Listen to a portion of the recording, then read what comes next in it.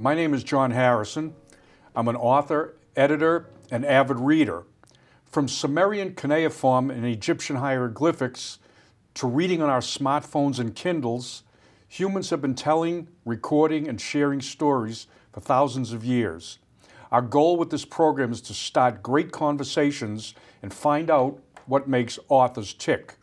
Together, we will dive into the creative process and come out on the other side with a story.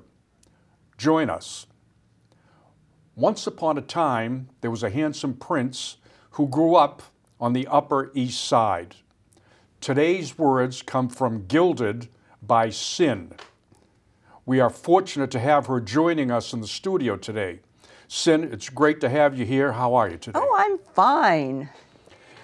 Uh, I'd like to start with some questions about your origins as a writer.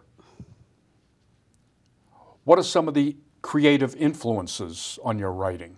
Well, when I was little, my father used to read us uh, Roald Dahl stories.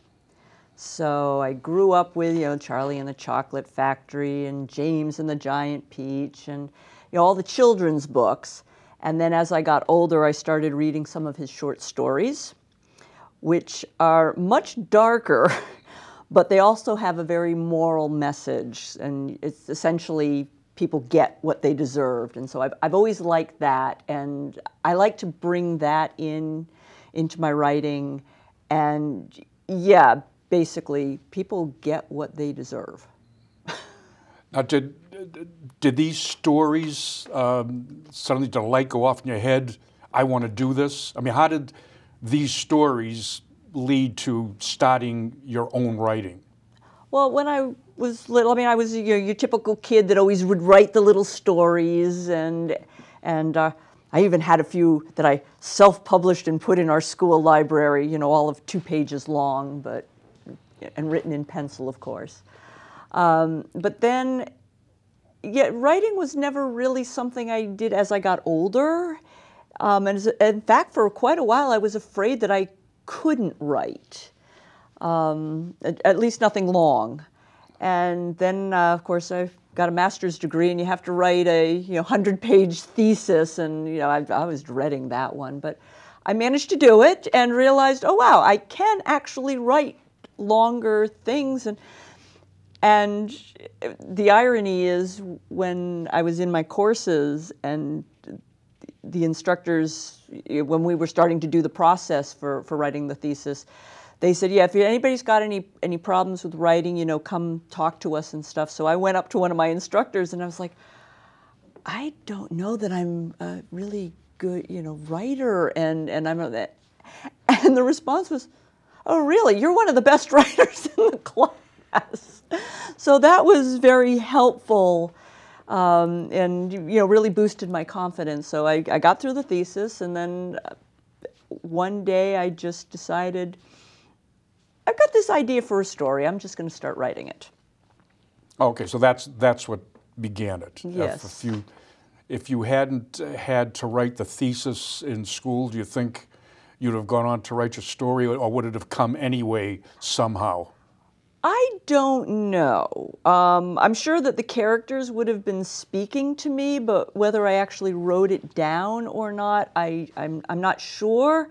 However, the reason I wrote down the story was to get these characters who were talking in my head to shut up. What brought these characters into your head? Why, why the Upper East Side? Why this story? Why these characters? What?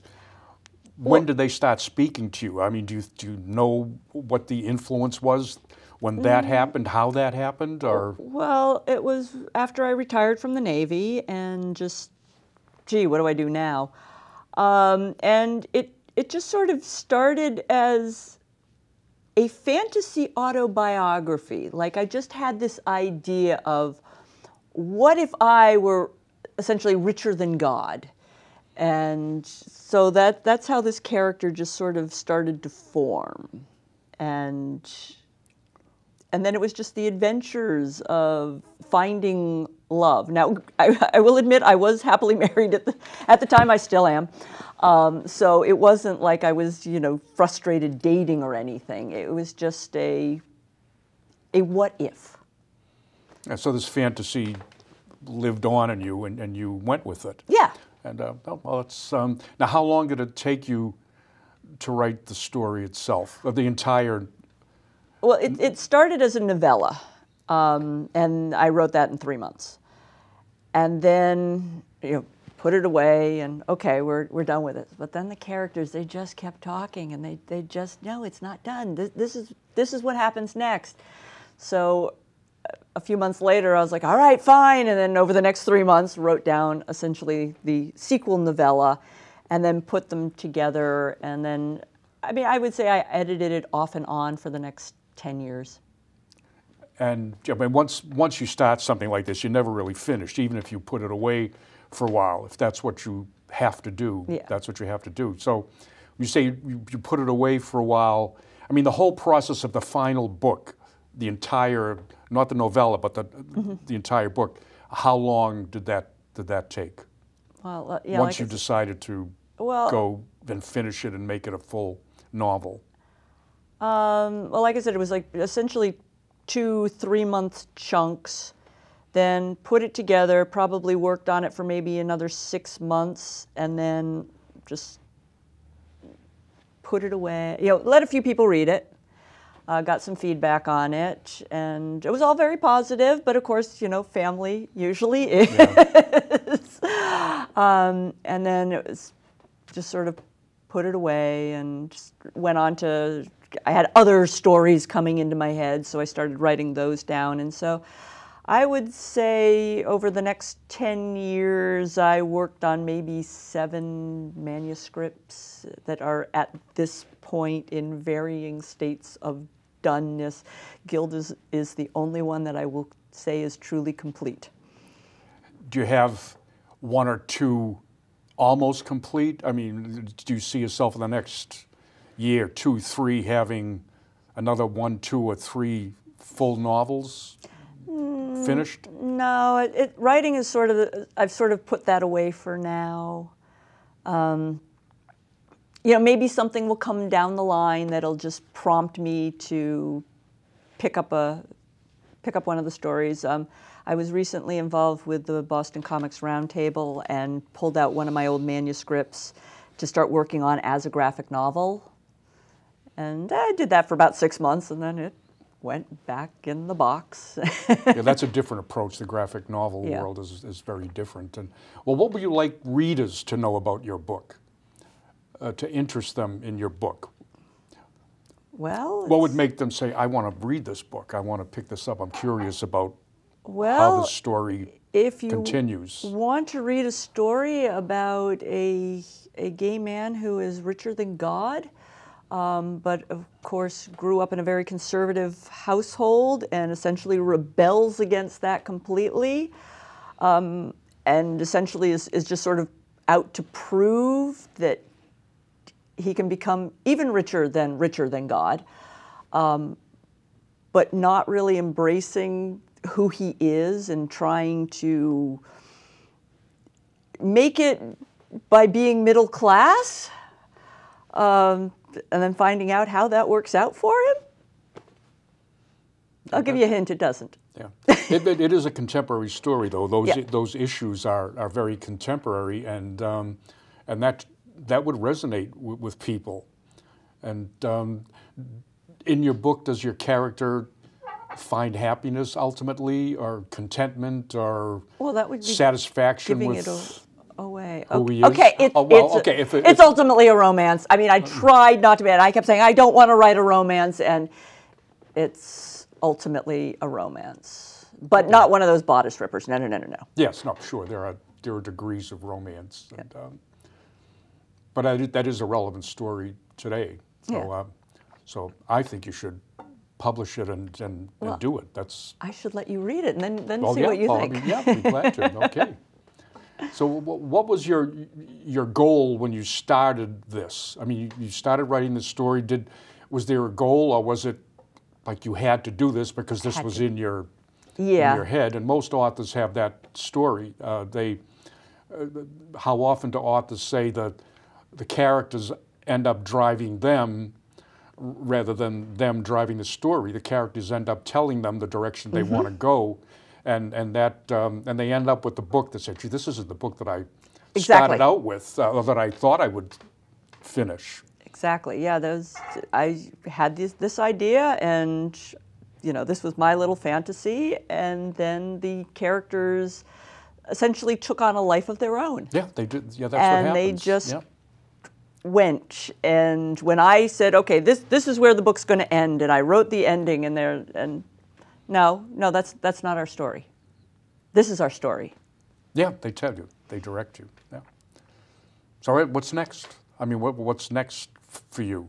Well, I mean, this one is put to bed. Mm-hmm. Kind of, you know, you, you can decide how you want to go forward with it, but the, the story's complete. So, what's what's the next in, in your your writing quest? Well, I probably won't write uh, per se, but um, I'm a calligrapher, and I'm okay. That's the other thing I love about writing. I actually love the physical act of writing, which is why I write all my stories longhand. That's what I, when you said I was going to ask. So Yeah. obviously you don't do calligraphy on a computer. So No, so Yeah. so um, um, so I, I I want to get back into that and and sort of more the fine art aspect of it. But oh yeah, speaking of longhand, um, yeah, th- this is where the tangents start, and you, your your your guess will will do this. Uh, I participated in National Novel NaNoWriMo, uh, National Eh, no. Novel Writing Month. You know what I'm talking about. National Novel Writing Month. NaNoWriMo. It's in November. Every year. November? Yes, every Oh, November. And, don't I know that? and the That's- goal is is to write a, a minimum of 50,000 word novel in 30 days. And a number of years ago, well, I, I basically found out about it like the first week in November. So I'm like, well, I haven't started at the beginning of November, so there's no point in writing anything. And but I participated on the writers' boards and stuff. And then there was this one person who was whining about not being able to write, didn't have the time, and oh, did I mention that I have to make Thanksgiving dinner next week for all these people? And I said, that's it. I'm going to prove this person's a whiner. So the next morning, 10 o'clock in the morning, I started writing, and over the next eight days, I wrote over 50,000 words and completed uh, another story. Did It's not a very good all? story. All right, I, but eight days. That's a That yeah. that's a record. I- um, and I actually wrote my start and finish times, and I think it came out to 56 and a half hours, 56 and three quarter hours that I actually wrote. And I would write, and then I would go walk on the bike path, and then the next part of the story would talk to me, and I'd come home and I'd write, and all longhand, and it was rather painful. But I finished on the Wednesday before Thanksgiving just to prove it could be done. Well, um, how many people do you think that start out in that program end up writing their 50,000 word novel? Well, uh, there there tend to be a lot of people who do succeed, and a lot of people who start out and you know have all the excuses for why they can't Yeah. finish it. And I mean, some of it is they just don't have the complete idea.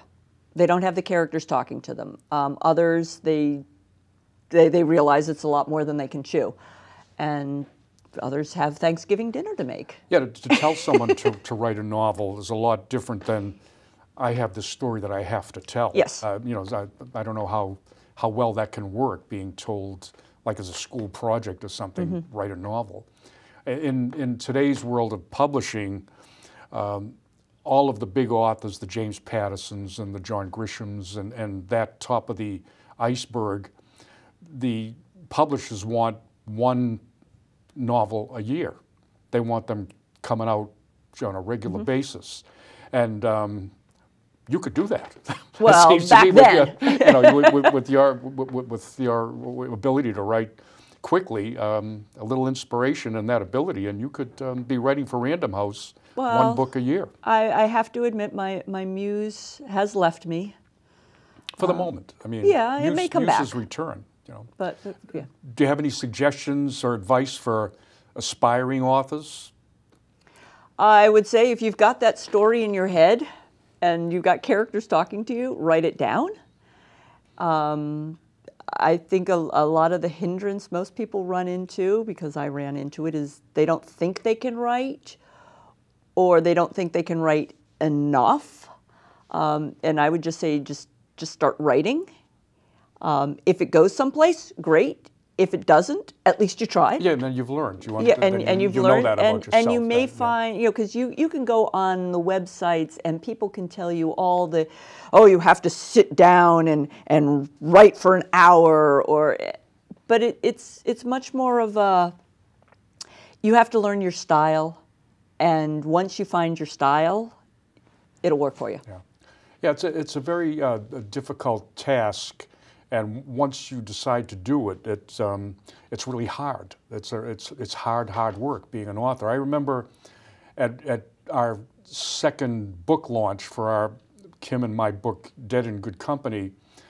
Uh, one of the participants, one of the essayists in the off in the in the book, at that launch asked me perhaps the most interesting question uh, that I've been asked since doing this, and he said, "John, if you knew what it was going to take, because now you're at the other end of the mm-hmm. process, if you knew what it was going to take when you started this project, would you have done it?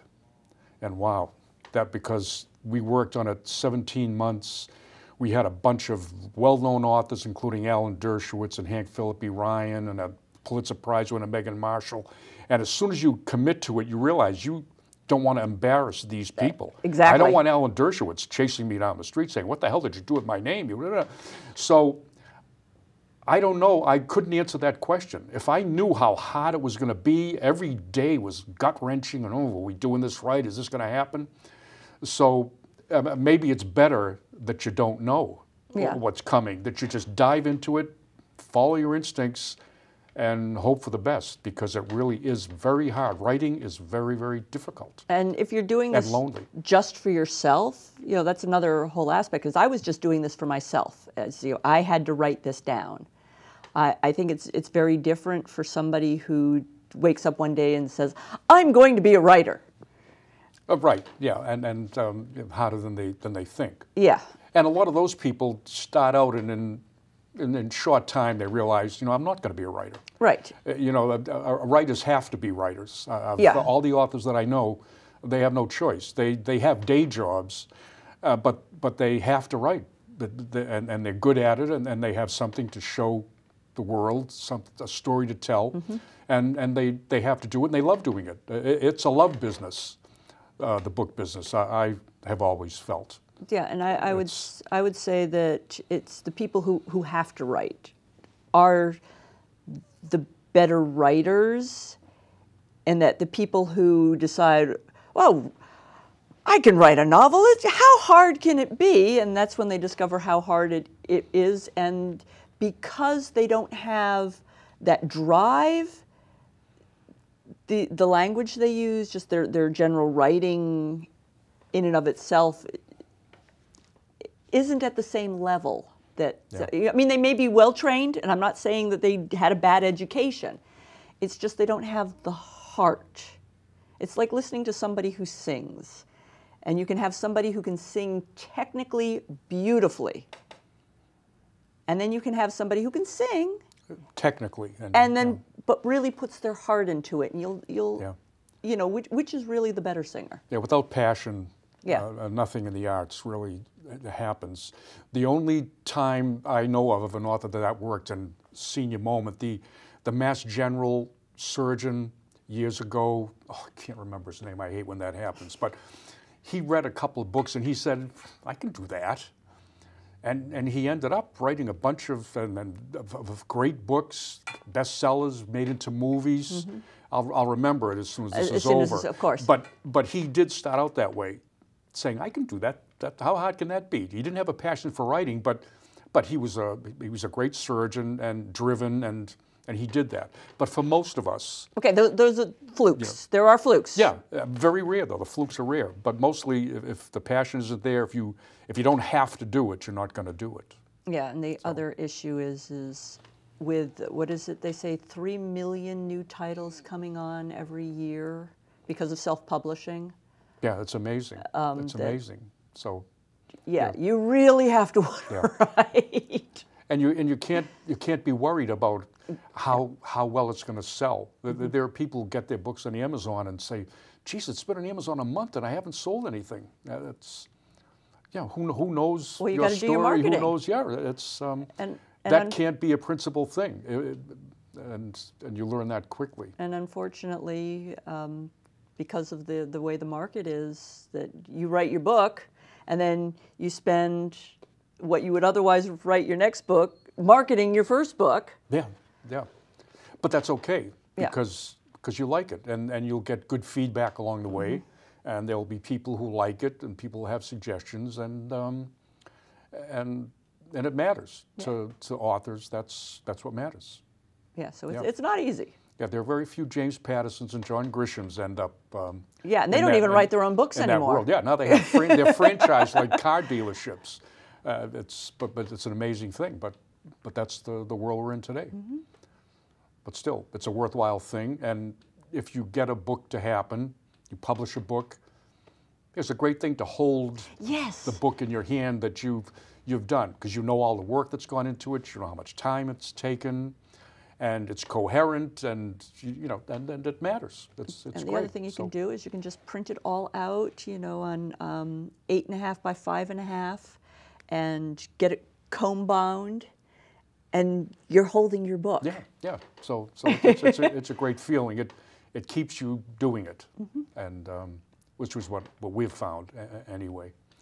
So, so this is yeah. So um, I hope in, in as time goes by that you'll have other finished books. Uh, any of these seven that you mentioned, manuscripts, or however many that, that you'll pick a couple of them out and say, oh, this is worthy of finishing and this one's worthy of finishing. And sometimes when you put something away for a while and then come back to it, uh, you you find, oh, wow, there's this something to this. I mean, that happens with playwrights all the time. Great Broadway uh, playwrights wrote shows long ago that they put in a draw because they just didn't resonate. Right. They become big successes, and then they take out that old chestnut and rework it a little, and then that becomes one of their, their best work. So, Yeah, because after you you've you've completed something, and then you can go back to to that, and you can see essentially what, what was wrong with it, why it didn't work, and then now you now you've got some. yeah, which you've Some way to learned from the it. other things you've done. So, Yeah. so that's why putting uh, it's good that you put them away for revision at some later time because you, you never know when that that will be the thing that inspires you.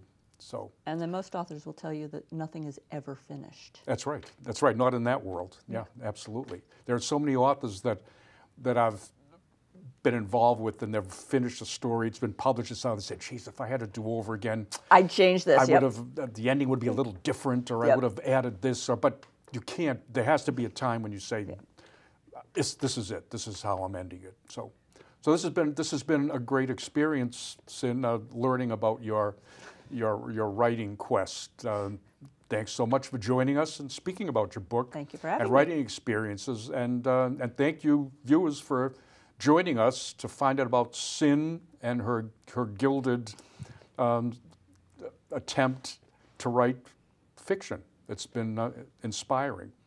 And, um, and I'm John Harrison, and this is Conversations with Great Authors. And hope to see you next time. We have a full slate of authors that we plan on bringing in to speak to you about their writing life. Thank you, Cyn.